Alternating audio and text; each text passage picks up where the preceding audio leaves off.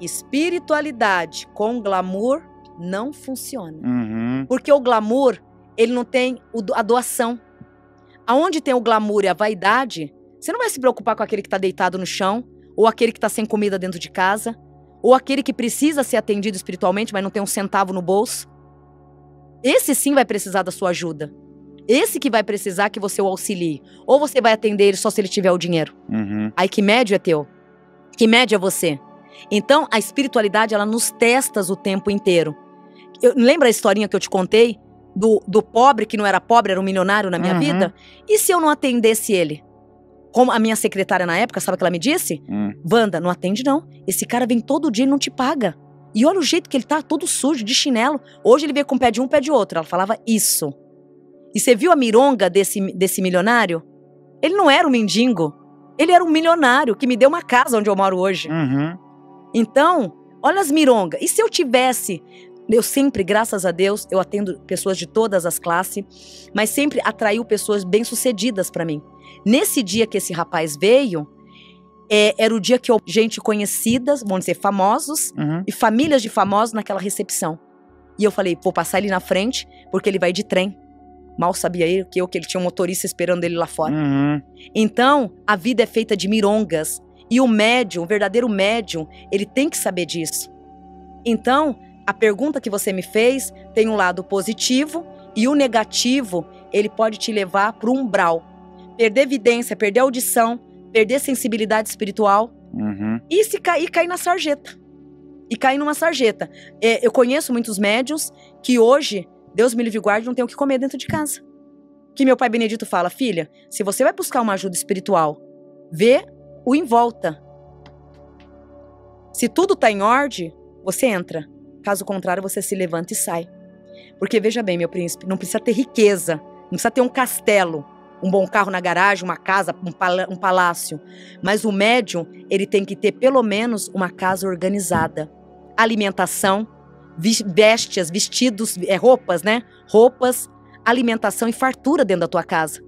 Agora, se na tua casa você é um médium e na tua casa tem desordem, tem filho comendo mãe, filho xingando pai, é filho brigando com mãe, desordem dentro de casa, mas você é médium e na sua casa tá acontecendo tudo isso? Se a sua vaidade deixar, você vai entender que ela já tá engolindo a tua família. Porque aí o que que começa? A vaidade, ela te engole. Ela te engole primeiro dentro da sua casa, aonde começa pai e mãe brigando, guerra familiar, marido e mulher, filho brigando com mãe. Uhum. Mas peraí, você é um médio, tá toda essa guerra dentro da sua casa, tá tudo errado. Já é um alerta pra você acordar pra vida. Aí continua, continua. Você não tá aprendendo? Então peraí que agora eu vou tirar tudo. E esse tudo não é alimentação, é os dons mediúnicos. Uhum. O médio, ele tem que entender que nós médios não somos nada sem Deus e sem as nossas entidades. Tem médio que ele aflora tanto o ego e a arrogância que ele esquece, ele pensa que ele é Deus. Ele acha que ele pode transformar o mundo, que ele acha que ele pode fazer tudo. Acima de tudo tá Deus. Aí vem as entidades e o médium, ele é um instrumento escolhido pelo plano espiritual para trabalhar e servir, ajudar.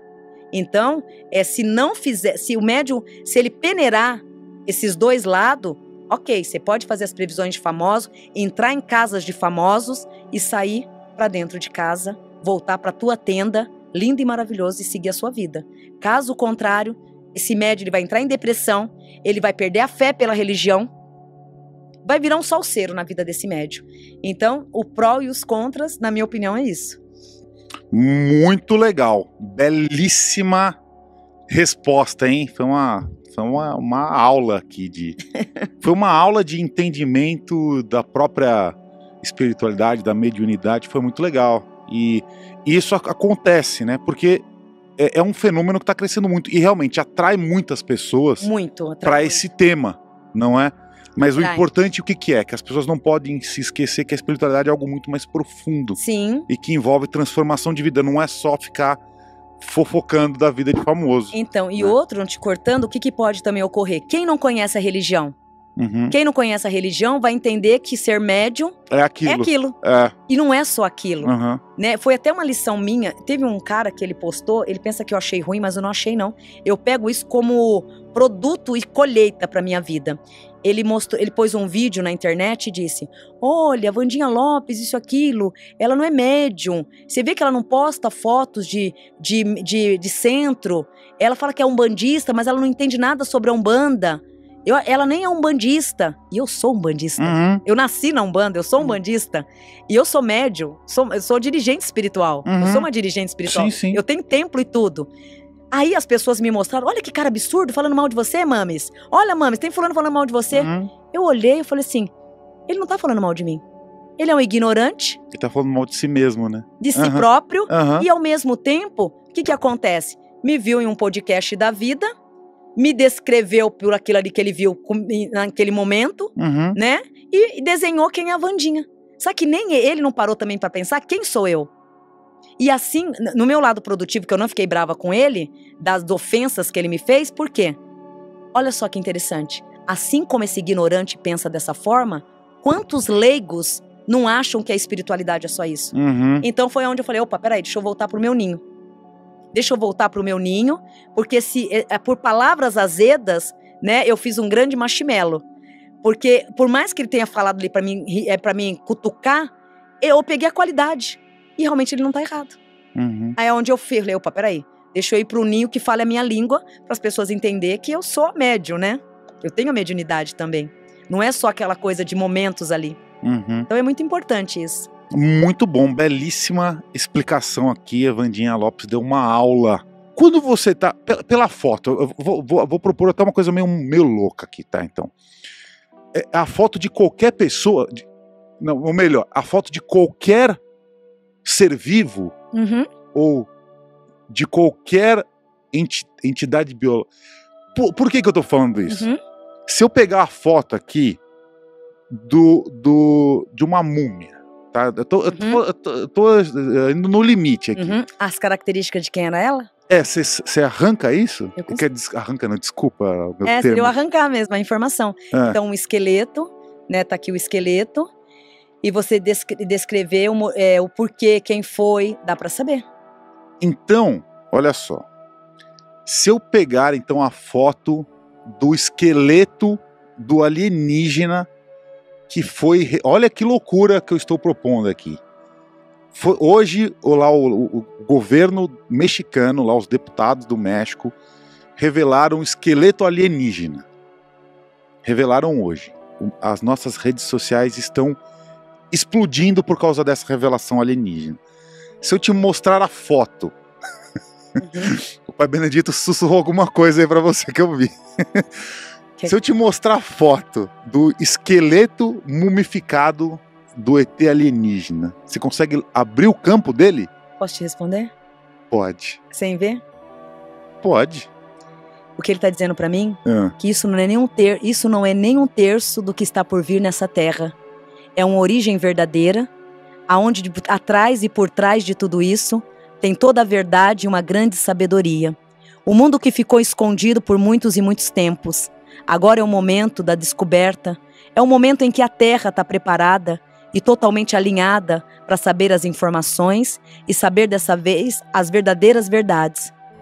Aí ele frisa que esses restantes, né, que esses restos de ossos, diga ao filho que é mais do que verdadeiro e que não é nem um terço do que ainda vai ser descoberto. Olha o que ele traz aqui. Através dessa descoberta, eu não vi, eu não assisto televisão, viu? uhum, Eu não vi, você me deu a notícia aqui. Sim. O paizinho está dizendo que essa pequena descoberta, eles vão, através dessa pequena descoberta, que é super verdadeira, eles vão procurar outros meios Hum. e vão encontrar. Vão encontrar a fonte e a origem de muitos outros mais. Na vidência traz dois pesquisadores, crentes, sábios, que já estão nessa busca. Dois homens que daqui a três meses vai trazer para a Terra uma informação mais concreta do que essa. Então, quem está observando essa informação, daqui a três meses vai ser descoberto o respaldo de tudo isso. Algo mais, mais, mais significativo. isso. robusto. Isso, mais Aham. robusto, aonde vocês vão entender o fio da meada. Aí ele está respondendo: É, é, é fim dos tempos num bom sentido. Uhum. Os fins dos tempos não significa a destruição da terra, filha, Uhum. e sim as descobertas dos desconhecidos e das crenças que ficaram totalmente estagnadas ou muitas vezes disfarçadas como não existente. Pai Benedito. Quer me mostrar? A foto? Hum? Quero, vou, eu vou pegar a Sem foto óculos, aqui. mas faz grande aí pra mim. Calma que mandaram tanto aqui pra gente, eu vou pegar aqui. Calma aí, deixa eu... Tá, tá explodindo tudo aqui. Tá uma loucura essa a live de hoje. Tem Deixa- dois cientistas em busca disso e aonde vai trazer notícias assim inéditas, bem fortes mesmo. Tem aqui, deixa, eu- deixa eu ver se eu, se eu acho aqui. Pera aí. Já achei já. É... Ossada alienígena no México. Só um minutinho, hein? Fiquem, fiquem aí, fiquem aí, querida audiência. Fiquem aí. Ah, Achei, até aqui, ó. Ó, deixa eu, eu vou até ampliar aqui, ó. Tá aqui, ó, no meu celular, ó. Uhum. O ET tá aqui, tá? O ET tá aqui. Tem radiografia, tem tudo saindo do, do ET, tá? Ele tá na, tá na caminha aqui, ó, tá? Bem bonitinho. É, é, falam que esse ET tem mil anos. Ele, ele está é, petrificado já. Já tá petrificado. Deixa eu. Vou pegar a foto aqui pra você ver. É um pouquinho a mais. Aqui, ó. Tá aqui. O ET petrificado do México. A ossada que foi revelada hoje pelo governo mexicano, pelos deputados lá, e tinham é, cientistas forenses também que analisaram as ossadas. Tem radiografias. Um negócio bem interessante aí. Uma ossada. Tem 60 centímetros o. o, o- E é uma ossada original, meu príncipe. É super original, literalmente original, do começo, meio e fim, original. Porém, aí mostra é, dois homens, dois pesquisadores, que vai mais a fundo e aonde eles vão trazer mais informação. Daqui no- uns 90 dias, daqui uns três meses, Uhum. essa história ela vai dar uma continuação, mas que nem você afrisou na terra, robusta, né? Mas Uhum. com mais conteúdo, porque aqui traz realidade. É isso que veio no campo. Muito interessante. Agora o, o chat está pedindo aqui uma previsão é para o Brasil. É possível? É a previsão para o Brasil. Ampla É. para a nossa nação. É, eu amo o Brasil, né? Eu sou apaixonada por essa terra e eu fico assim muito triste. Em termos políticos, eu vejo muitas mudanças e melhorias. Termos político, termos terras. Uhum. Por mais que o histórico venha todo assim, né, de uma vazão, de uma confusão muito grande, mas o presente em si, é, o conteúdo do Brasil em relação à política de agora para frente, a prioridade, graças a Deus, é dos caminhos se alinharem, é dos caminhos melhorar e muito, muito mesmo, porque não só o que direciona o Brasil, mas o que agrega esse- direcionamento são pessoas pela primeira vez falando a mesma língua, pessoas de- pela primeira vez fazendo dos erros os grandes acertos. Então, isso eu vejo muito aprendizado. Eu não vejo mais espiritualmente falando aquela ignorância, ah, que eu sei, eu faço, não. É, hoje, o reinado que tá, ele tá muito sábio, porque tá aprendendo com os erros e esses erros se transformando em acerto. Porque na verdade, a terra e o Brasil, né, a terra em si, a terra brasileira, ela tá passando por uma transmutação muito grande, mas muito grande, aonde ela se torna e acaba se tornando sempre é, o foco melhor de todos os países, em termos espiritualmente falando. Então, em termos espiritualmente, eu vejo o Brasil numa cobertura espiritual muito grande, aonde o Brasil ele já era o coração do mundo e ele se torna o coração do mundo a cada dia que passa. É, traz o acolhimento, traz o aumento da fé. Então, o Brasil, em termos de energia, fé, a fé, a religião, aumentando. Eu vejo nesses últimos, nesses próximos anos, a fé aumentando muito. É, o lado da política, eu repito, é, os erros se transformando em acertos e pro- procurando, assim, o máximo fazer as coisas desta vez correta e trazendo um resultado político muito favorável. Isso é muito bom. E em termos de o oxigênio, enfim, espiritual, falando do oxigênio espiritualmente falando, recebe muitas energias espirituais agora nesse mês de novembro. O Brasil agora nesse mês de novembro, ele começa, graças a Deus, a receber é, mais energia, mais convívio espiritual e ter perante tudo isso o foco de uma religião. Então, o resumo do Brasil é: espiritualmente, a energia espiritual ela tem muito a aumentar e isso vai fortalecer muito o desempenho do Brasil. É, a crença, a melhoria das raízes. É, eu vejo também espiritualmente os seres humanos, né, a humanidade brasileira, é, tendo mais foco é, no amanhã, se preocupando mais com o outro. Isso tudo faz parte de uma genética também espiritual. Então, no resumo, tudo traz tanto no lado financeiro né, no lado financeiro do Brasil, como no lado sociável, que é o auxílio, o lado sociável do Brasil, aumentando muito. E o Brasil ganhando novamente esse equilíbrio, essa paz. Mas é uma paz e uma prosperidade em geral. Quando eu falo de prosperidade, não é só a finança. Ah, o Brasil começa a se recuperar financeiramente, não. É uma prosperidade numa junção. A primeira escala, o aumento da fé dos brasileiros. Eu vejo os brasileiros tendo muita fé, crença em Deus. Isso automaticamente começa o quê? a melhorar o teu padrão de vida e a atrair pontos positivos. Isso vai se tornar algo bem mais fácil do que lá atrás foi, porque no dia de hoje a terra brasileira ela ganha essa estrutura espiritual. A chegada desse amiguinho Uhum. Já é uma for um fortalecimento espiritual muito grande para a Terra. É a partir do momento que eles começam a ser reconhecidos, que é o que vai acontecer justamente esse ano também, é onde aumenta também a vibração positiva para a Terra. Então começa a Mãe Terra distribuir as energias às suas crias, que são seus países. E o Brasil é um dos que simboliza espiritualmente o coração e a gratidão do mundo. Muito legal, hein? Ficamos muito felizes.